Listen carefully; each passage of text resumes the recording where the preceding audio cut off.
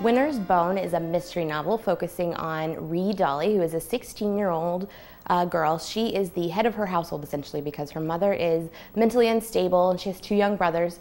Her father has gone missing, uh, which is really nothing new, but this time he's out on bail for cooking meth and he's put their house up as collateral. So she needs to find him so he appears at court on time and they don't lose their house. She goes traipsing all over rural Missouri looking for him through the people he might know, the places he might go. Her family, where she's looking for him, uh, are essentially a crime syndicate.